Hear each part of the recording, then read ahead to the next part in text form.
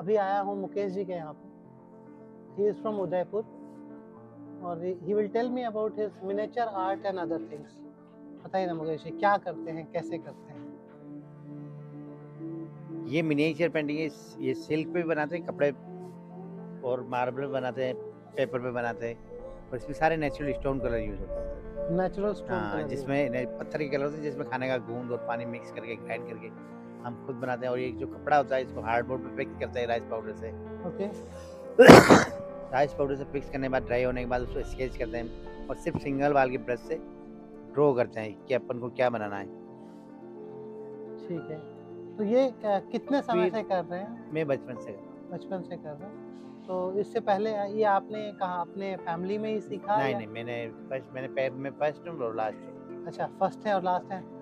और फैमिली में कोई और करना नहीं चाहता नहीं, इसमें क्यों भाई ऐसा मतलब ऐसा क्या है इसमें? क्यों नहीं करना चाहते लोग ये लोग समझते नहीं था। जो समझते हैं बहुत कम लोग समझते हैं। अच्छा।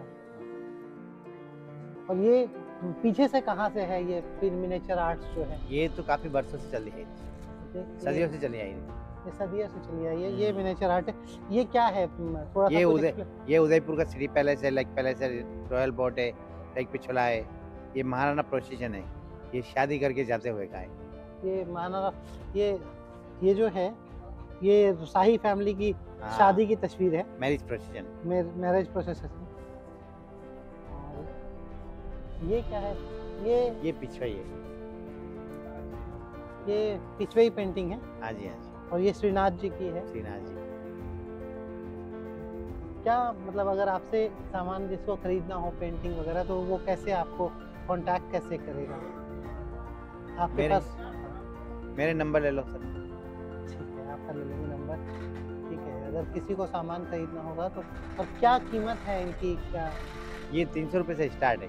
तीन सौ रुपये से स्टार्ट है? हाँ, और इनकी क्या कीमत होगी? ये जो बड़ी वाली पेंटिंग ये सभी डिपेंड करता है डिटेल के ऊपर सिर्फ़ डिटेल के ऊपर डिपेंड करता है?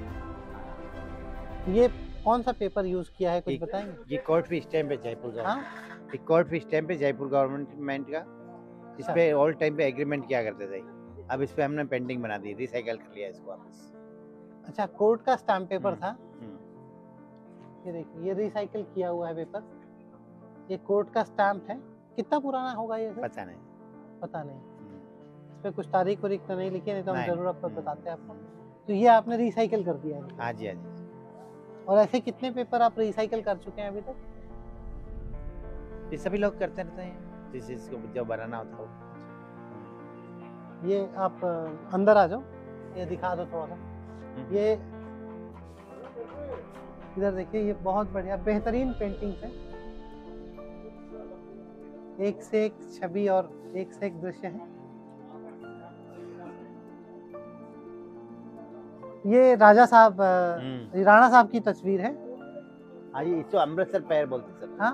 अमृतसर पैर बोलते हैं अच्छा अमृतसर पेयर हम्म। ये सारा रियल गोल्ड में बना रखा है। रियल गोल्ड में? Real gold 24 carat gold 24 carat golds में बना हुआ पिक्चर है। और एक ये दोनों तस्वीर की क्या कीमत होगी? ये चालीस हज़ार का है। चालीस हज़ार रुपए की है ये दोनों। अगर इन दोनों को एक ही फ्रेम में डालना हो तो डाल सकते हैं? हाँ जी हाँ जी। क्योंकि अलग अलग अच्छे नहीं लग रहे। हाँ जी हाँ जी। चलिए। हाँ? और छोटे में भी हैं? बहुत बढ़िया। Thank you sir young generation को कुछ बताना चाहेंगे इस पेंटिंग के बारे में? कुछ बोलना चाहेंगे? जो आपको लगता है कि यंग जनरेशन को जानना चाहिए। अगर हॉबी है तो सीखना भी चाहिए। हॉबी है तो सीख प्रोफेशनल नहीं होना चाहिए। प्रोफेशनल नहीं होना चाहिए। प्रोफेशनल नहीं। क्यों सर ऐसा क्यों?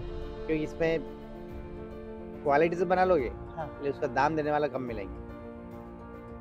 ये बड़ा है आज की डेट का सबसे बड़ा प्रॉब्लम है कि भाई आपको पैसे देने वाले नहीं मिलते हैं। कला की कोई कीमत नहीं।